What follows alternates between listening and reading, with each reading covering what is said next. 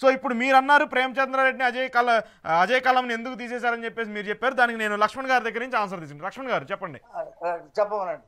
Sir నన్ను. మాట్లాడలేదు నన్ను మాట్లాడలేదు ఆయన ప్రతిసారి అడ్డుపడతానే ఉన్నాడు. నేను లక్ష్మణ్ గారు అయిపోయినా మీ దగ్గరికి వచ్చేస్తా. హనుమంత్ గారు లక్ష్మణ్ గారు అయిపోయినా. మీతో కంక్లూడ్ చేస్తాను. మీతో కంక్లూడ్ చేస్తాను. క్రిమినల్ ప్రొసీజర్ ప్రకారము జరిగేటువంటి కేసులు వేరు. అవినీతి నిరోధక శాఖ ప్రొసీజర్ ప్రకారం కేసులు వేరు. ఇప్పుడు ఇది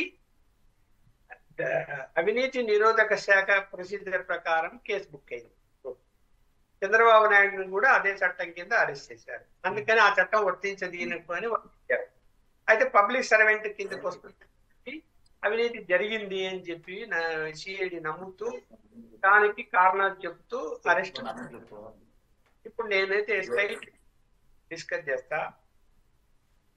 ఇక్కడ చంద్రబాబు నాయుడు గారు గాని ఆయన కుమారుడు గాని పాత్ర ఏదో ఆరోపణలు వస్తున్న ప్రకారం డబ్బులు వాళ్ళు తీసుకున్నారు.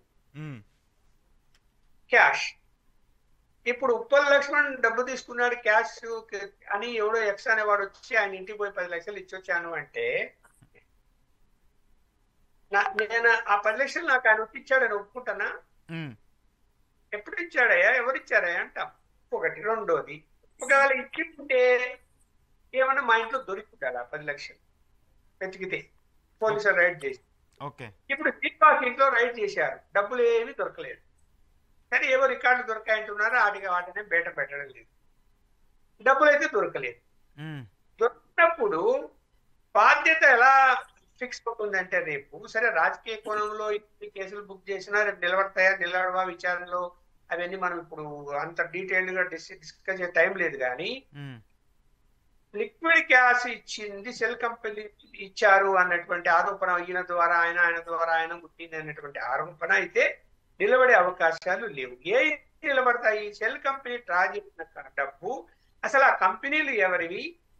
ఆ కంప్ ఆ డ్రా చేసిన డబ్బు ఏమైంది? తుపత్తులు పెట్టారా? ఏం పెట్టారు అనేది దర్యాప్తులో తేలినప్పుడు ఈ డబ్బు రిలీజ్ చేసింది ఎవరైతే అది ఎవరన్నా కానీ ప్రేమచంద్రారెడ్డి కావచ్చు ఇంకొకరు కావచ్చు ఇంక ఏ ఆఫీసర్ అన్నా కావచ్చు లక్ష్మీనారాయణ కావచ్చు ఇంకొకరు కావచ్చు. ఫిక్స్ వాళ్ళు కావాలా? వీళ్ళు కావాలి? వీళ్ళిద్దరు వీళ్ళిద్దరు జైలుకు పోవాలా? వీళ్ళిద్దరు ఇద్దరు రికవరీ చేయాలి. చూడండి అవినీతి నిరోధ శాఖ రికవరీ చేయాల్సి వస్తుంది రేపు. ఇప్పుడు అవినీతి నిరోధ శాఖ ఇప్పుడు నేను ప్రభుత్వ ఉద్యోగిని లంచం తీసుకున్నా లంచం ఇచ్చేవాడు పట్టిస్తే అంత రెడ్ హ్యాండెడ్ వచ్చి పట్టుకొని ఆ డబ్బు రికవరీ దొరికితేనే అవినీతి చేసినట్టు లెక్క. డబ్బు దొరకలేదు అనుకోండి ఉటిగా లెటర్ రాసేసి "నేను డబ్బులు డబ్బులు తీసుకుంటున్నాడు అని చెప్పి ఆరోపణలు చేసి చెల్లుతుందా వాళ్ళు రైడ్ చేయాలా? ఆ డబ్బు దొరకాలి. మళ్ళీ ఆ డబ్బు కూడా అవినీతి నిరోధ శాఖ ఇచ్చిన డబ్బే అయి ఉండాలా? మన డబ్బు లోపల ఉండొచ్చు పదివేలు. అది తెల్లదు. అందువలన ఈ చట్టం కింద పెట్టడం అన్నదా పెట్టారనే దాని మీదనే రేపు పొద్దున కోర్టులో విచారణ జరిగితే ఎలా నిరూపిస్తారనేది వచ్చినప్పుడు పెద్ద సమస్య. అది రాజకీయ కోణంలోనే చేశారు అన్నది కష్టంగా ఎస్టాబ్లిష్ అవుతుంది. ఓకే. ఇప్పుడు అప్పుడు బాధ్యులు ఎవరైతారంటే అధికారులు ఇచ్చిన డబ్బు డబ్బు ఇచ్చిన అధికారులు అవుతారు తీసుకున్న వాడు అవుతాడు. వీళ్ళిద్దరు రెస్పాన్సిబిలిటీ ఫిక్స్ అయ్యే అవకాశాలే ఉన్నాయి కానీ చంద్రబాబు నాయుడు మీద సూత్రధారి ఓకే ఏదైనా మర్డర్ కేసులో అయితే సూత్రధారి ఆయన చెప్తే నేను చంపాను అంటే దానికి ఏం ఆఫ్ డౌట్ అనే దాని మీద క్రియేట్ చేసి ఎందుకు ఆ, అతను చెప్తుంటాడు ఎందుకు ఇతను చంపుతుంటాడు దానికి లింక్ క్రియేట్ చేసి సాక్ష్యాలు ప్రవేశపెట్టి అవును ఆ సూత్రధారి చెప్తేనే ఈయన చంపాడు అనేది ఎస్టాబ్లిష్ అయితే శిక్ష ఈయన కంటే చంపినోని కంటే సూత్రధారికి ఎక్కువ శిక్ష పడుతుంది. ఇక్కడ ఎట్లా శిక్ష పడుతుంది చంద్రబాబు నాయుడు గారికి?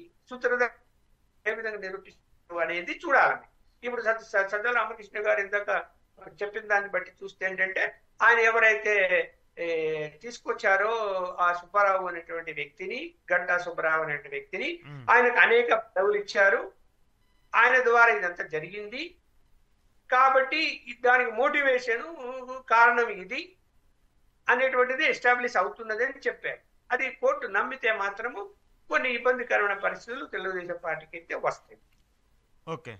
Right right. ఇదే ప్రేమ ఎండిగా ఉన్నవాడి గురించి ఆయన ఎందుకు తప్పించారండి? అది అది కదా నేను అడుగుతున్నాను సార్. అద- అదంటే చెప్పండి. రఫీ గారు అడిగి- ఇప్పుడు అజయ్- ఒక్క ఒక్క నేను అడుగుతా నేను అడుగుతా. అజయ్ కలాం రెడ్డిని ప్రేమచంద్ర రెడ్డిని ఎందుకు ఎండి అతను కదా బాధ్యుడు దానికి ఆ సమస్యకి ఎండి. ఆయన అనే ఆయన ఫైల్ మీద సంతకం పెట్టి ఉన్నా చెక్ ఇష్యూ చేయమని రాసి ఉన్నా అలాగే ప్రేమచంద్రారెడ్డి ఫైల్ మీద సంతకం పెట్టినా చెక్ ఇష్యూ చేయాలని చెప్పి ఉన్నా ఖచ్చితంగా ఫర్దర్ ఇన్వెస్టిగేషన్లో వాళ్ళను తప్పించడానికి అవకాశమే ఉండదు. ఇప్పుడు నేను ఈ ఈ చెక్కులు ఇష్యూ నాలుగు నాలుగు దఫాలుగా రిలీజ్ చేశారు అమౌంట్. ఎవరు ఫస్ట్ టైం రిలీజ్ చేసినప్పుడు ఎవరు ఎండిగా ఉన్నారు? సెకండ్ టైం రిలీజ్ చేసినప్పుడు ఎవరున్నారు? అనేది దర్యాప్తులు వస్తాయి. చెప్పు ఈ డేట్లో రిలీజ్ అయింది ఆ రోజు నేను ఎండిగా ఉన్నా. అంత ఎండి ఆ డేట్ వేసి పోయినా కూడా నా మీదకే వస్తుంది కదండి. నేను ఉన్నా కాబట్టి ఆ రోజు. లక్ష్మణ్ గారు చిన్న మాట సార్. మేము మొత్తం? కూడా ఎంక్వైరీ లో నాలుగు చెక్కులు ప్రేమచంద్ ప్రేమచంద్రారెడ్డి పెట్టాడు సంతకాలు. నాలుగు విడతల్లో కూడా ప్రేమ తర్వాత అంటే శ్రీనివాసరావు పంతొమ్మిది మార్చి లో వచ్చాడు. పంతొమ్మిది తప్పించు- మార్చి లో అంటే శ్రీకాంత్ వచ్చాడు. సంతకాలు పెట్టాడు. ఈయనే సంతకాలు పెట్టాడు చెక్కులు రిలీజ్ చేశాడు. అతను ఎందుకు తప్పించారు? అతను ఎందుకు తప్పించారు?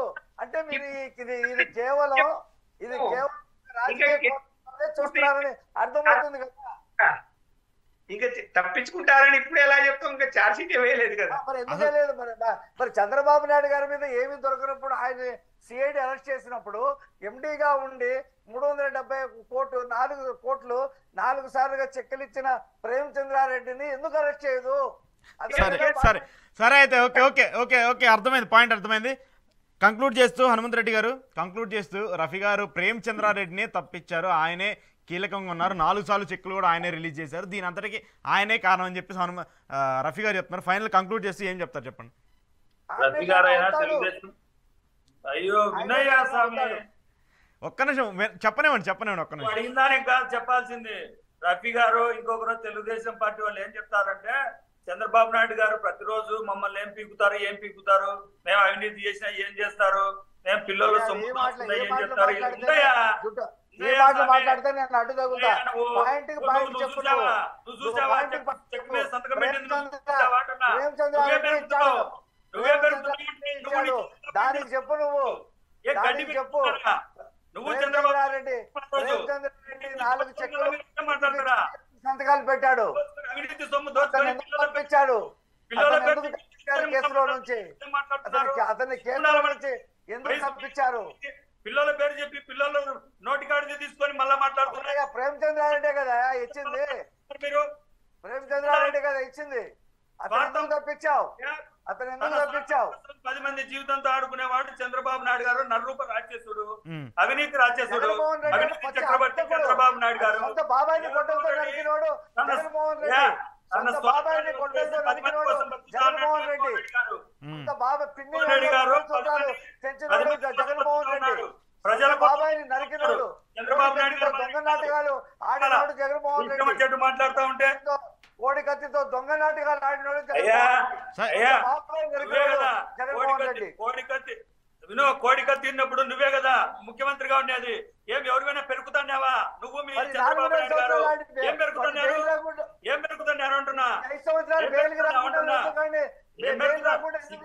మాట్లాడుతా ఉంటే నువ్వే కదా ముఖ్యమంత్రిగా ఉండేది. బయటికి రానికుండా ఎందుకు లోపల పెడుతున్నావు? ఏ నువ్వే తీసుకురా. కోట్ల రూపాయలు పెట్టుబడులు పెట్టి తీసుకొస్తున్నావు కదా. ఈ రోజు చంద్రబాబు నాయుడు గారు అరెస్ట్ చేస్తానే? కోట్లు తీసుకొని వచ్చి నిలబడ్డారు కదా. సరే సరే right right right right right right. అది అది కూడా చూద్దాం. ఇప్పుడు ఎవ- ఎవరు నిందితుడు ఏందనేది కూడా ఎంక్వైరీ చేస్తున్నారు. ఒకవేళ ఛార్జ్ షీట్లో మీరు చెప్పినట్టు ప్రేమచంద్రారెడ్డి అలాగే అజయ్ కల్లమ్మ హస్తం కూడా ఉంటే మాత్రం వాళ్ళని కూడా ఖచ్చితంగా కస్టడీకి తీసుకుంటారు. వాళ్ళని కూడా విచారిస్తారు. అసలు దీని తీసుకోరు. ఈ కేసులో ఈ కేసులో గారు ఉన్నా గారు నాయన ఉన్నా చంద్రబాబు రెడ్డిని నాయుడు గారు ఉన్నా తీసుకోరు. చంద్రబాబు నాయన ఉన్నా ఎవరున్నా అందరినీ లోపలికి పోతారు? చంద్రబాబు నాయన పోతాడు. చంద్రబాబు కొడుకు పోతారు పేరు గారు అందరు. పోతారు. రైట్ చూద్దాం అది అది కూడా చూద్దాం మరి. ఇట్లా బుకాయిస్తే తప్పులు ఒప్పులు కావు. బుకాయిస్తే తప్పులు ఒప్పులు కావు. చెవులో ఫోన్ ఇక్కడే అనుభవించాలా? దానికి మనం ఎవరు చేస్తున్నాం అనేది? అయ్యా రఫీ గారు కూర్చోకుండా ఇప్పుడు ఇప్పుడు మీ లాయర్ ఏం ట్వీట్ చేశాడు తెలుసా? మీ లాయర్ ఏం ట్వీట్ చేశాడు తెలుసా?